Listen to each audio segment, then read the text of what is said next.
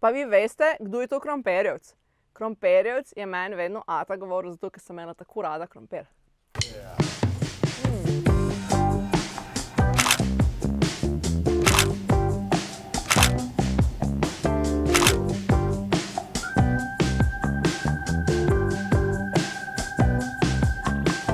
Živijo in dobrodošli v domačno sklaro. Danes kuhamo v tem čudovitem septembrskem dnevu, Klemen pa je glavni kurjač.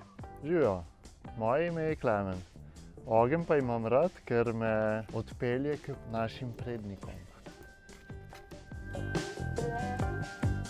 A kaj bomo pekli? Pekli bomo krompir v žerjavici in notri dali več različnih nadevov. In akcija! Pomembno je, da res počakamo, da nastane žerjavica. Krompirčke lahko kar tako vržemo v žerjavico, lahko jih pa zavijemo v alufolijo. To odločitev prepuščam vam. Z mojega otroštva se spomnim, da jih nismo nikoli zavijali v alufolijo, smo jih kar direkt noter vrgali. V bistvu ta lupina služi kot super ovoj, je tudi ne rabimo pojesti na koncu, če ne želimo. Pri zagrinjanju krompirja v žerjavico si pomagamo z, ponavadi z kovinskimi grabljami.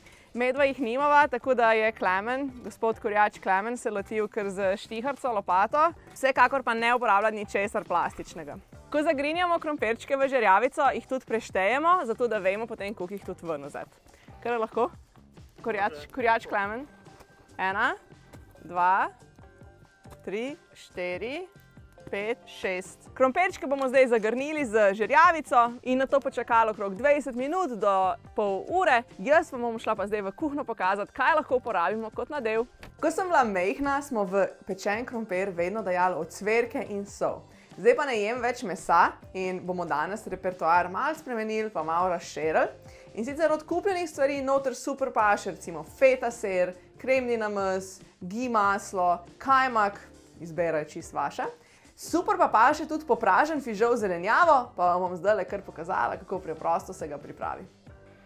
Čebulo nasekljamo, ter v ponev dodamo olje in na njem popražimo čebulico. Paprike operemo, jih uporabimo kot ušeska in nato narežemo na majhne kockice. Dodamo jih v ponev, posolimo in uporabimo miks začimb po izbiri. Up, up. Nato dodamo še fižolček in koruzico. Klara, krompir je že pripravljen.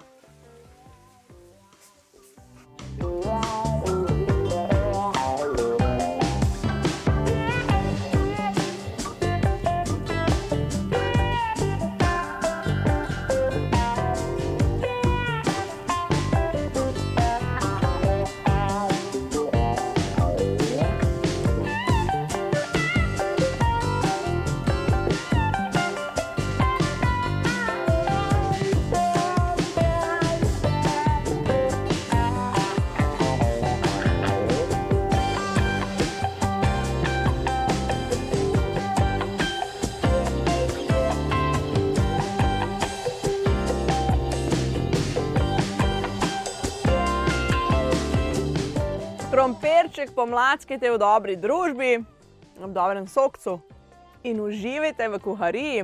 Pejte kdaj ven kuhati, je res lušno. Sploh, če imate tazga kurjača, kot je Klemen. Lepo se mejte in se vidimo v naslednjem delu domačno sklaro. Čau!